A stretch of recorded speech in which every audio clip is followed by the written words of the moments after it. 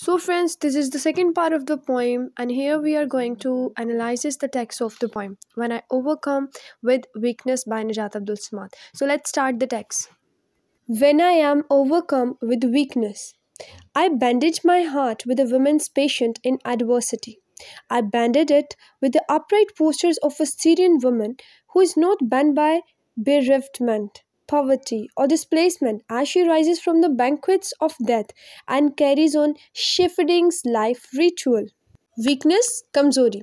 Band bandage करना किसी भी चीज़ की ड्रेसिंग करना ठीक है? जैसे आप कोई मरम पट्टी करते हैं वुमेंस पेशेंट औरत का सबर एडवर्सिटी का मतलब होता है एक बदतरीन सिचुएशन ना खुशगवार सिचुएशन अपराइट पोस्टर्स का मतलब होता है सिटिंग और स्टैंडिंग विद बैक स्ट्रेट बिल्कुल सीधी होके बैठना, झुक के नहीं बैठना, ठीक है? और ब्रेवमेंट का मतलब होता है किसी को खो देना लॉस ऑफ़ समथिंग पॉवर्टी का मतलब गुर्बत और डिस्प्लेसमेंट का मतलब होता है नकल मकानी, एक जगह से दूसरी जगह जो है, वो माइग्रेट कर जाना. बैंकुट्स का मतलब होता है किसी भी चीज़ की दावत देना या करना, ठीक है?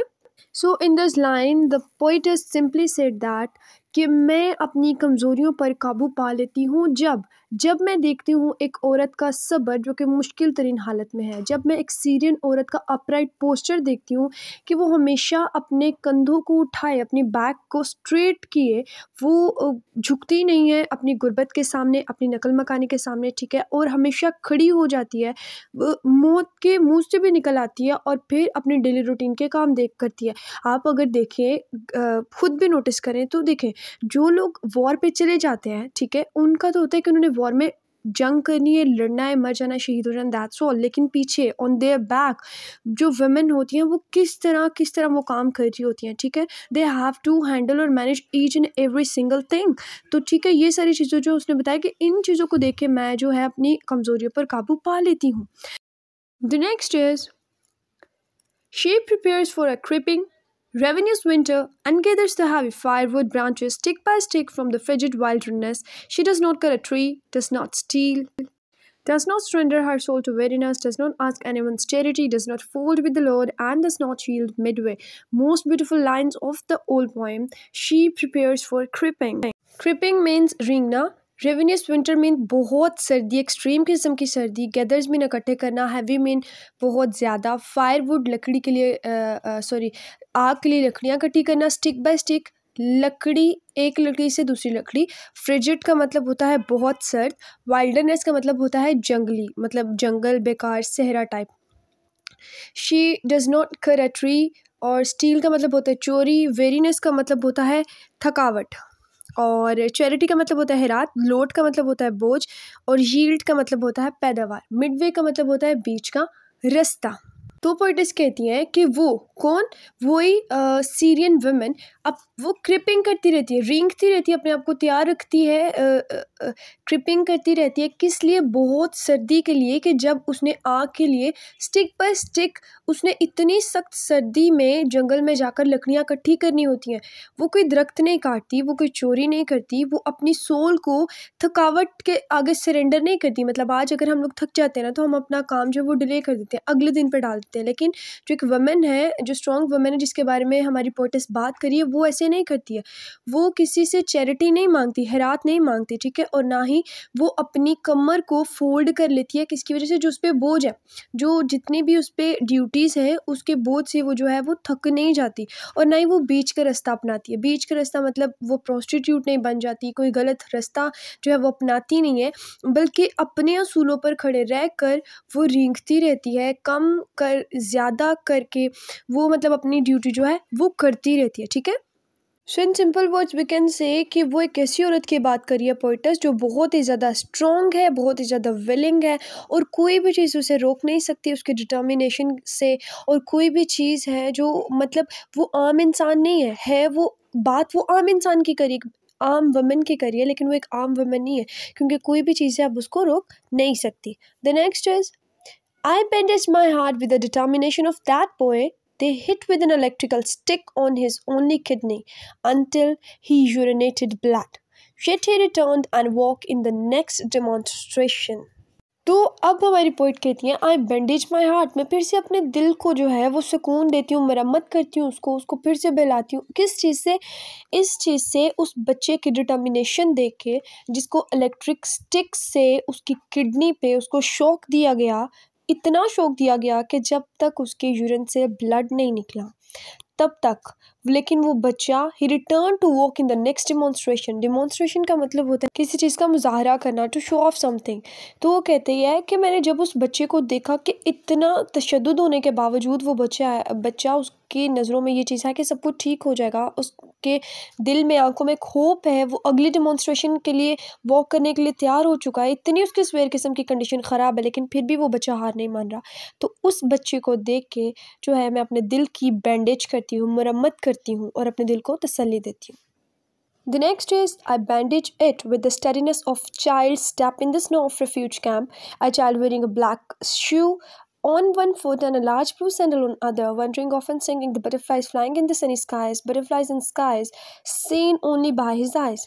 Steadiness का मतलब होता है साबित कदम रहना कहती है मैं अपने दिल को इस बात पे भी मरम्मत कर लेती हूँ ये देखकर जब मैं एक बच्चे को देखती हूँ उसके साबित कदम देखती हूँ उस स्नो में उस बर्फ़ में जब वो रिफ्यूजी कैंप में है यानी एक बच्चा है रिफ्यूजी कैंप में और उसने शूज़ पहना हुआ है, एक पाँव में उसका ब्लैक शू है, दूसरे पाँव में उसकी बहुत बड़ी सैंडल है, यानी उसके पास जूते तक नहीं है, ठीक है? और वो बर्फ़ में उसके फुट स्टेप देख रही हूँ, उसकी साबित कदमी देख रही हूँ, और वो रिफ्यूजी कैंप में बैठा हुआ है, लेकिन वो सिंगिंग कर रहा है, और इधर उधर देख रहा है, किसको देख रहे हैं? उन तितलियों को, उस सनी स्काई को, और ये सब कुछ उसकी आँखों में नज़र आ रहा है, और उसकी आँखों में नज़र आने से मुराद ये है कि सिर्फ़ ये चीज़, वो बच्चा देख रहा है। वो बच्चा बर्फ़ में, यानी बटरफ्लाइज और स्नो और सनी तो नहीं होगा ना?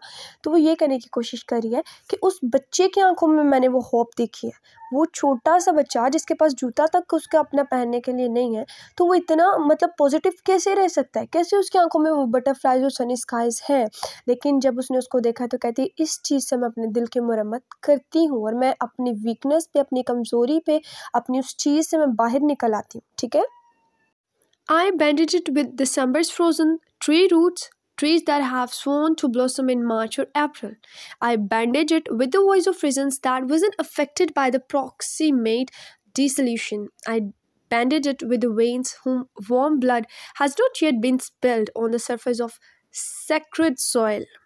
तो स्वॉन मीन्स स्वेर की सेकेंड फॉर्म कसम खाना और ब्लॉसम का मतलब है खिल जाना रीज़न का मतलब है वजह प्रॉक्सीमेट का मतलब होता है करीबी, तकरीबन डिसोल्यूशन का मतलब होता है तनहाई लोनलीनेस वेंस का मतलब होता है खून की रगें स्पेल्ट का मतलब होता है गिरना. सेक्रेट सोइल का मतलब है मुकदस जगह या मुकदस ज़मीन। अब हमारी पोइटस कहती हैं कि मैं, उसने बहुत ज़्यादा रीज़न्स दिए और अब और रीज़न्स दे रही है तरह तरह से। वो कह रही है कि मैं अपने दिल को बैंडेज कर लेती हूँ दिसंबर की उन फ्रोज़न ट्री रूट्स की वजह से, उन मैं दरख्तों को देखती हूँ जिनकी रूट्स फ्रोज़ हो चुकी हैं और जिन्होंने कभी कसम खाई थी कि वो मार्च और अप्रैल में जाके खिल जाएँगी। तो कहती है, अभी भी एक होप है। कोई मसला नहीं है कि अगर वो दिसंबर में फ्रीज़ हो चुकी हैं, लेकिन मुझे पता है या उनको पता है कि वो मार्च और अप्रैल में एक टाइम आएगा जब वो खिल जाएँगी, उन पर फ्लावर्स हो जाएँगे, ठीक है? तो ये होप है।